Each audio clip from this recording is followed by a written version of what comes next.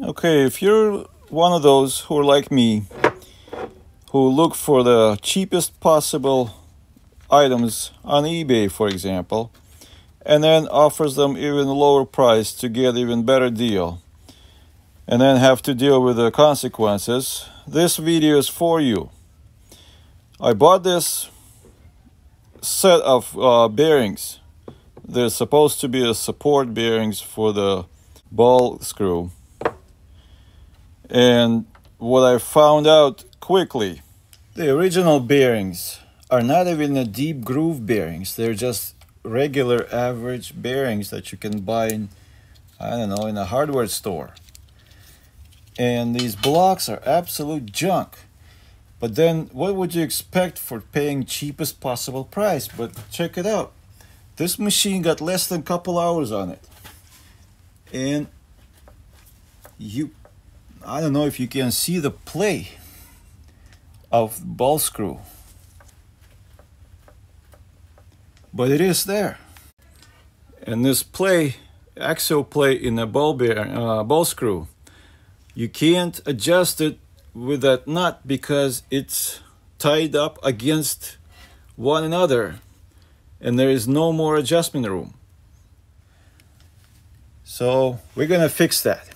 I bought a set of angular contact bearings eight of them that's how many I need to replace all of them on my machine cost as much or even more than uh, perhaps one set of ball screw with both the supporting blocks.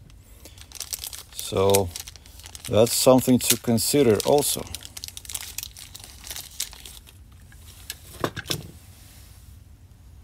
Uh, the number on them it differs by one digit.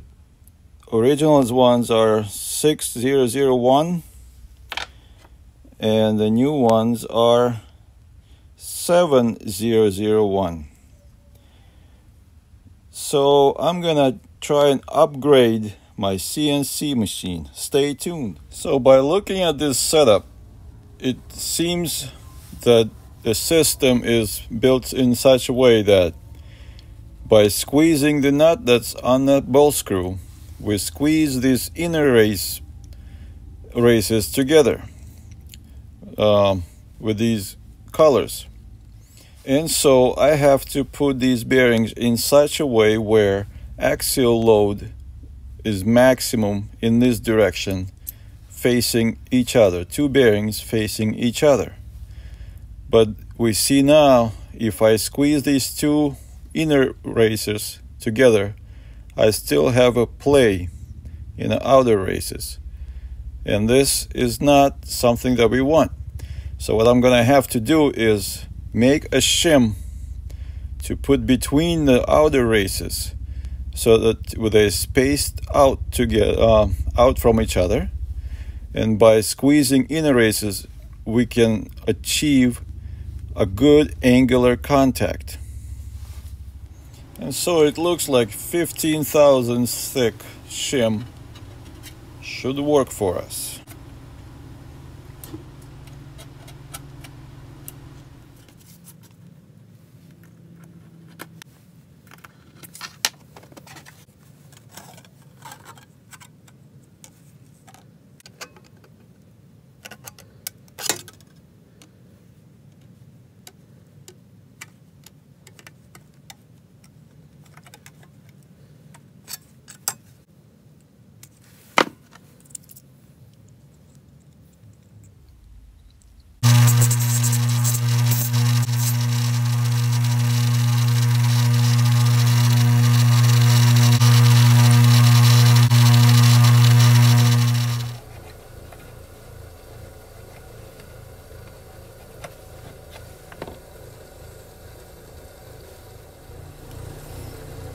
I marked approximately the center of the shim.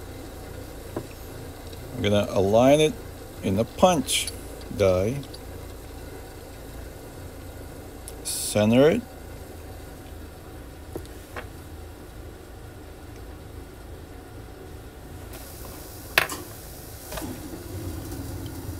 And then we're gonna whack it real good.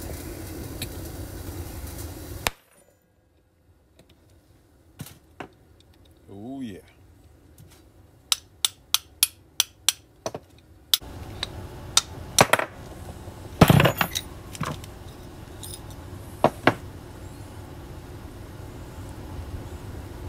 And there's our shim.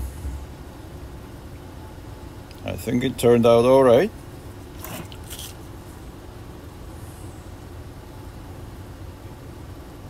And it clears the inner race on all sides pretty much evenly.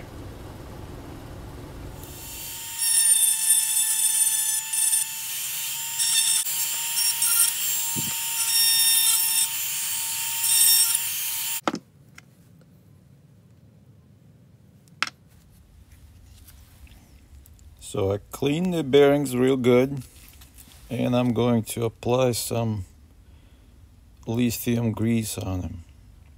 It's a universal type of grease that should work in these low RPMs that I'm getting, maximum 3000.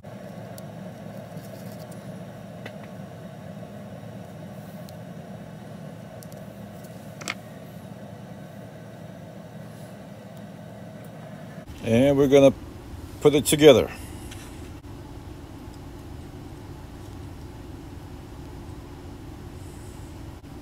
Make sure I put it in the right way.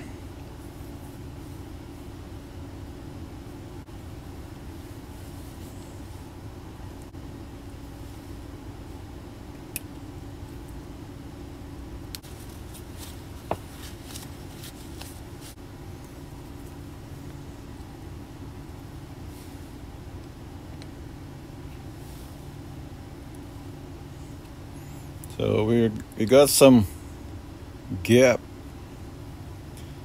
in this flange, which is okay because we got the shim and everything going on inside.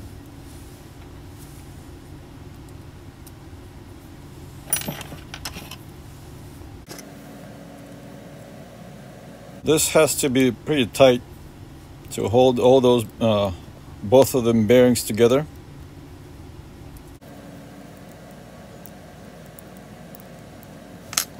Now we will have zero play. So this gap turned out to be about precisely about uh, 15 thousandths thick as our shim. So just information. Anyway, if you like this video, uh, consider subscribing, liking, whatever. You know what to do. Cheers.